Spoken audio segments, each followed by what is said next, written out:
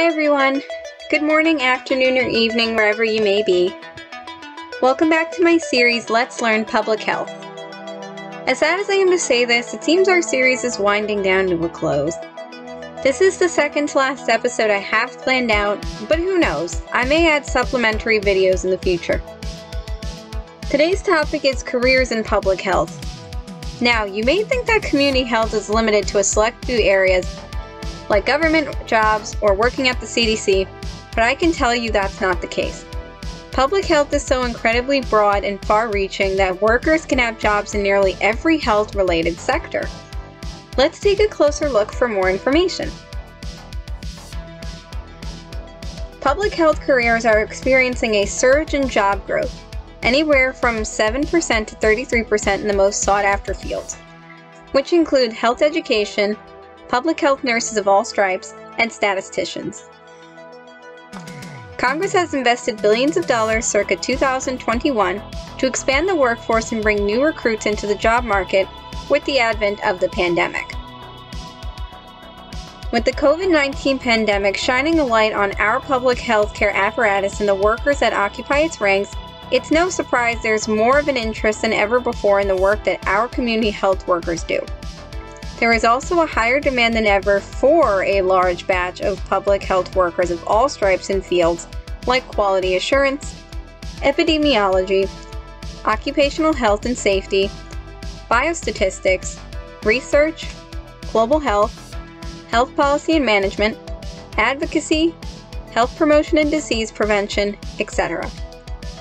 As an example of a public health professional you may have seen before, think of someone who came to your school to do sex education programs or perhaps an anti smoking or AIDS awareness seminar. That person was working as a health educator and prevention specialist. In order to talk about careers in public health, I want to touch on collegiate public health education and degree programs. First, we should make distinction between a degree, a certification, and a certificate.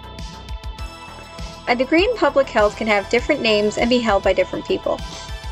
A bachelor's degree will most likely be held by someone who is primarily interested in a health science first and foremost and has not yet graduated with a degree in another specialty area. Now, those who want to pursue an MPH will either have relevant experience in the field with another similar degree, a BSN or a Bachelor's of Science in Nursing is a common one, and subsequently pursue an MPH for access to more senior level positions and pay increases, or will come from a separate profession, like business with an MBA, for example, and pursue an MPH as a career change, since most MPH programs will allow you into their program with a few necessary prerequisites if you have a degree in another field. A certificate, on the other hand, shows proficiency in a certain skill. Finally, a certification is a set of initials and a title added to someone's name that exemplifies mastery in that subject of training. CIC, a certification in infection control, is one of the most prominent ones in the public sector health. Also, many people get certifications through a certificate, gets a little murky. Our first career field of interest is that of biostatistics which classifies itself as the use of data collection for the application of healthcare. As you can tell by the nomenclature of the title, it's a subset of statistics, so that means it uses mathematical analysis to help influence policy decisions and compile data. Looking at trends, dips, peaks, plateaus, etc., and applying population and demographic data to aid in research and development are the primary tasks of this field. Tracking outbreaks, disasters, shortages, surpluses, and more is a big job for the biostatistician, as informatics drives on being able to see whole pieces of data while also being able to zoom into smaller parts to see what's happening in specific cohorts. Clinical trials are often done with the help of a biostatistician, and as such, they work closely with epidemiologists and clinical researchers. Remember last episode when we discussed surveillance? That was informatics at work. Prevention is always key. As you can tell, this field has a lot of math. Some positions you can hold in the area, of course, are a biostatistician, a health services manager, database administrator, systems analyst, and an informatics specialist. Next area of study is community health, which can also be used synonymously with public health when using it as an umbrella term. However, shrinking it down a couple notches, it becomes its own unique field of study. I'll encompass this one with two other fields behavioral health and health promotion, disease prevention education, and uh, behavioral health, social health, and minority health. One of the largest specialties next to EPI, community health and all the rest of the specialties in this category utilize a more holistic approach that strays farther away from hard data and number crunching and instead draws us into the community to directly confront those with public health issues on the ground. Taking inspiration from the social sciences like sociology, psychology, and even political science and economy to an extent. Lots of public relations and wellness programs. Governments at the federal and state level can recruit organizers to serve as outreach coordinators and marketing specialists to get projects off the ground. For example, community water fluoridation would see a health promotion campaign and an associate sent out to schools with a team behind them to educate students and faculty. Grant writing is also something you can see in this field since it is tied to the continuing of healthcare adjacent education. This is a field where you will see the most resources being given directly to underserved populations, as well as the most concern towards grassroots mental health care and social work. Wellness and health education are big parts of this field, and creating plans to decrease health disparities in chosen communities is paramount. Your typical health educators qualify for this field, as well as your community outreach worker running a clinic and the administrator for your city's homeless shelter health educator, program coordinator, and public relations manager are also jobs under this field. I want to speak about minority health and healthcare disparities as a field of work as well. The main task these workers face is working within our system to try and eliminate barriers to care and understand why they exist. These barriers can be racial, sexual, economic, dependent on location, etc. Since the focus is on underserved communities, this field is also good for those who would like to do community outreach focused on minorities and target specific groups to redistribute important resources to. Education, like all the previous sectors under community health, is paramount. In recent years, migrants at the southern border have become a focus for this area. Workers advocate on their behalf and make sure they receive adequate medical care without prejudice. Workers in this field often speak more than one language to communicate with their target population better. Some other jobs in this field are public health nurse and research analyst. Finally, under the, the community health umbrella, we've come to social and behavioral healthcare jobs where workers act as social workers, both clinical and non clinical. Shout out to my sister. Counselors, psychologists, and psych nurses. In this setting, these workers focus on the mental well being of the entire community and work to maintain good mental and emotional health in their population. An area where caring really shines through is a focus on putting a stop to substance abuse, doing casework for sexual abuse cases, sessions of therapy, and referring to rehab programs or setting up abuse shelters and crisis centers. Epidemiology is our next field for discussion, and the one I think we most associate with public health. It is also the one I've mentioned the most thus far. Epidemiology is a mixture of biostats and community health. They work to monitor diseases and understand their origins whilst developing solutions for them, such as vaccines. Understanding threat models, statistics, viral replication, reservoirs of contamination, sanitation and hygiene, contact tracing, social determinants of health, health equity, and more are required for this job. In addition, since this job is pretty math heavy, it helps to have prior experience working in research and data analysis. Government agencies often employ EPIs, but they can also find jobs in the private sector working with pharmaceutical companies. Research analyst is probably the most common job, along with, of course, your run of the mill epidemiologist.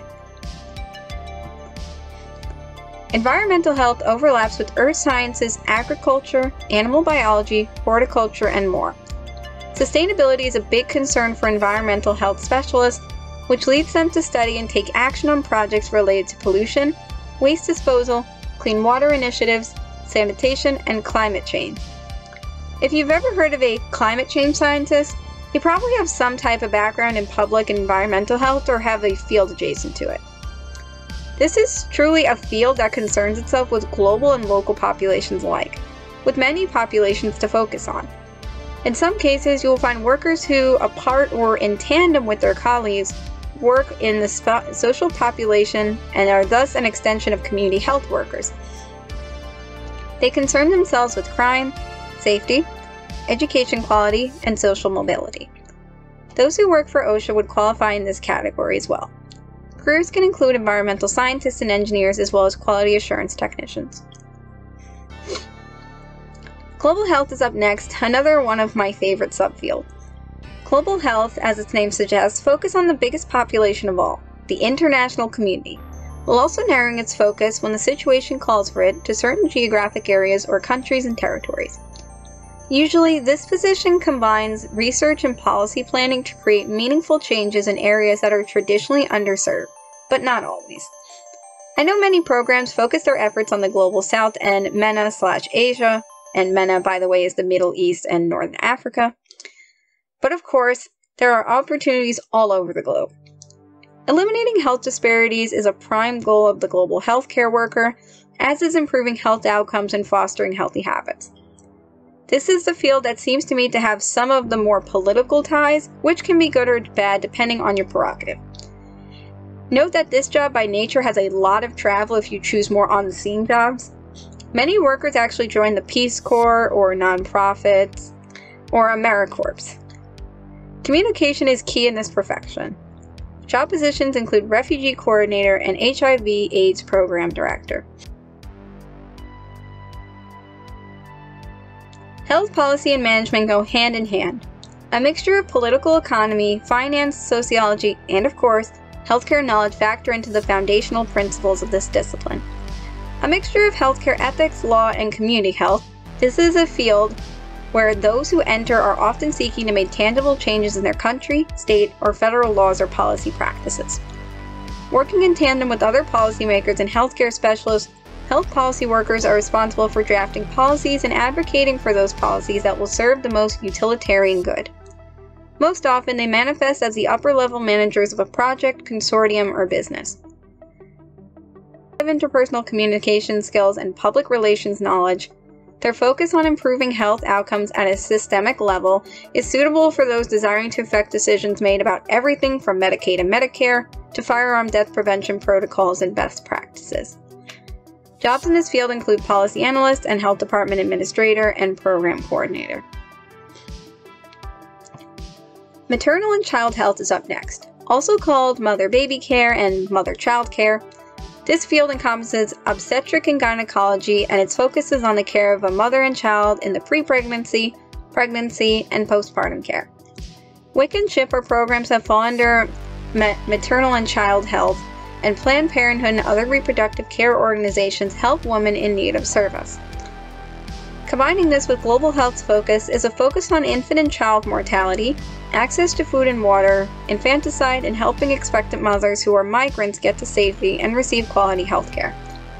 Understanding social determinants of health are paramount to understand for this field. As women and children have historically been neglected by social services due to their age, sex, and gender presentation. Workers don't just work with children from birth until infancy, they continue to work with children across their adolescence until they become adults. Caring for children also means the workers must be familiar with and deal with common childhood occurrences, like puberty, body growth, and mental health changes. Midwives are a classic position in this field as well as a childhood nutritionist. Some miscellaneous public health jobs that you may have heard of include a reporter or journalist, family health program coordinator, academic policy advisor, school nurse, emergency response coordinator, bioterrorism researcher, engineer, behavioral research scientist, NGO international aid worker, vaccine researcher, and ecologist. Okay, wow, that was a lot of information. It's time to shift gears once more and discuss the sites of these workplaces and what kind of work they offer. Private sector work often manifests as consulting, analyst positions, marketing, sales, advertising, insurance, and pharmaceuticals.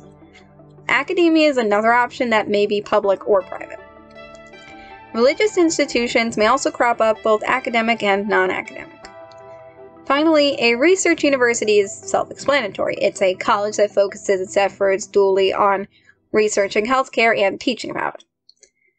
Government or public sector work most often manifests as AmeriCorps, Peace Corps, HHS, CDC, state and local health departments, and FEMA slash emergency response orgs.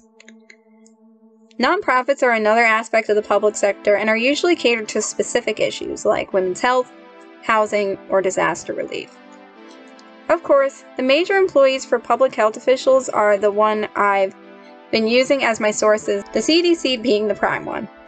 Other organizations include state and local health departments, the National Institute of Health, hospitals, duh, colleges, insurance companies, and nonprofits. Our final chapter of today's video is to list some of the organizations specializing in public health information dissemination, research, education, recruiting, advocacy, and certification. From publichealth.org, the list is as follows Professional organizations The American Public Health Association. Founded in 1872, APHA champions the health of all people through science backed advocacy on public health issues and policies. Members join a network of 25,000 peers and enjoy perks like access to award winning publications, professional development opportunities, and unique discounts. The Associations of Schools and Programs of Public Health. This nonprofit organization represents schools and programs accredited by the Council on Education for Public Health. Membership is open to institutions only, but educators and other individuals can take advantage of ASPPH resources including academic data, webinars, and curriculum support. National Association of County and City Health Officials. Founded in 1965, NACCHO, which sounds like Nacho, advocates for local health departments across the United States. The nonprofit's 13,000 members enjoy benefits such as an online toolbox, special assistance grants, networking opportunities, and program resources. Society for Public Health Education. This nonprofit independent professional association represents nearly 4,000 health education professionals and students. SOPHE SOAP uh, promotes healthy behaviors, communities, and environments through advocacy and awareness campaigns. Membership benefits include networking opportunities, peer reviewed journal access, and professional development resources. Association for Professionals in Infection Control and Epidemiology. APIC unites over 15,000 members, including nurses, epidemiologists, and other public health professionals dedicated to advancing the practice of infection control. Membership benefits include networking, research, career, and professional development resources. And that's it for this episode, folks. Hope you've enjoyed. I'm looking forward to the day I can join this awesome workforce full of amazing people. Public health workers of all stripes, thank you for your wonderful work. This country and this world would not be what it is without your dedication to excellence. Thank you very much for following me in this series so far. We'll be wrapping up next episode. Until I see you again, this is Fina saying goodbye and good day.